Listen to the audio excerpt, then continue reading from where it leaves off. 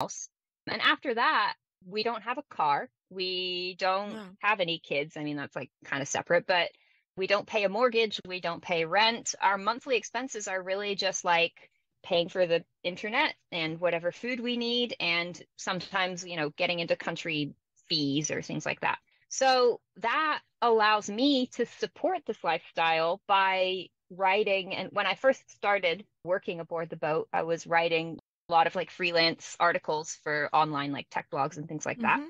but working part time basically and being able to support our lifestyle just working part time and that it gave me a lot of time to work on my books you know so like in the last i guess it's been two years i've been able to write like seven books in a few short short stories, which Wow. a lot of authors just don't have time to do which is you know in turn allowed me to really develop my voice and learn how to write. I've gotten a lot better